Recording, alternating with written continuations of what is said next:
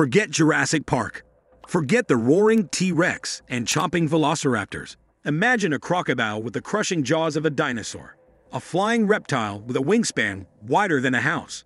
A predator so stealthy it could stalk you in broad daylight, and you wouldn't know until it ripped the heart from your chest. These weren't movie monsters. They were real. They ruled the planet, and their reign was a living horror show. We will start with Jaekelopterus. Three words giant sea scorpion. Yes, this 8 foot long creature lived in water and had sharp claws. The truth is that all Eurypterids are very scary, and this whole post could be about how scary they look. A lot of them look eerily like the face huggers from the alien films. They give people nightmares. Jaekelopterus had bodies that were broken up into segments and many specialized arms, some of which had spikes. There were springs in their claws that let them grab fish as they went by. The biggest one had an 18 inch clipped claw. It is known that smaller sea scorpions have crawled ashore to mate and even shed their shells. Picture coming home from swimming and finding the molt of one of these monsters on the shore. Moving away from the shore, you feel fear and suspicion already. Then you see a shape in the rough water. Next, we have Megalodon. This 59 foot long shark lived and hunted in the same waters as Livyatan melvillei. It had massive, 7 foot wide jaws containing 5 rows of around 276 compressed, blade like teeth that were made for cutting and grasping powerful prey. Sharks have skeletons made of cartilage that are not typically preserved in the fossil record, and so the jaws of Megalodon and a few trace fossils are all paleontologists have to build their hypotheses.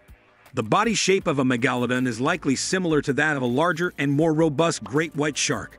If Megalodon exhibited ambush hunting behavior like great white sharks, it would have taken prey by surprise from below and made precision strikes to immobilize its prey with an amazingly strong bite.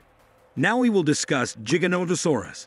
The length of the Giganotosaurus was 43 feet, 3 feet longer than the Tyrannosaurus rex. Its head was 5.2 feet long, had 64 teeth that were compressed and sharpened, and was 8 inches long. These teeth were made to cut through skin, but they couldn't break bone like Tyrannosaurus teeth could. Giganotosaurus lived in Argentina during the Cretaceous period. It was linked to the African Carcharodontosaurus, which was about the same size. There is some evidence that Giganotosaurus hunted with other animals in groups, and that the groups went after big sauropods. It would be the only theropod that hunted sauropods like this. It's also interesting that the lower jaw was slightly widened, which lets it handle smaller foods. For sure, Giganotosaurus would have loved to eat the meat of some silly two-legged animals if it had the chance. Next, we have Titanoboa. For those of you with ophidiophobia, this one's for you. Titanoboa was a 42-foot-long snake that lived during the Paleocene epoch. It likely hunted much like crocodiles do, lurking and partially submerged at the water's edge so that it could ambush thirsty, unsuspecting animals. It would strike from the water and wrap itself around its prey, delivering a crushing death. It lived in the rainforests of South America, where temperatures were warmer than in the tropics today.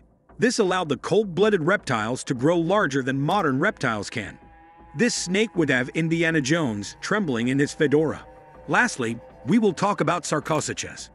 Sarcosuchus was a 40-foot long, 10-ton, crocodile-like reptile from the Cretaceous era that lived in what are now Africa and South America.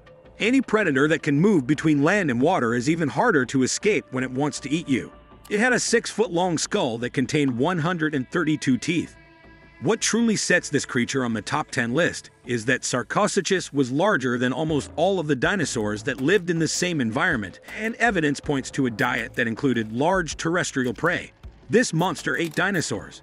It's true that its diet consisted largely of fish, and it spent most of its time submerged in the water.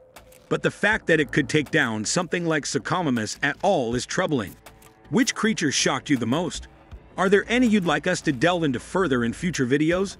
Don't forget to subscribe, hit that notification bell, and join our community of fellow enthusiasts.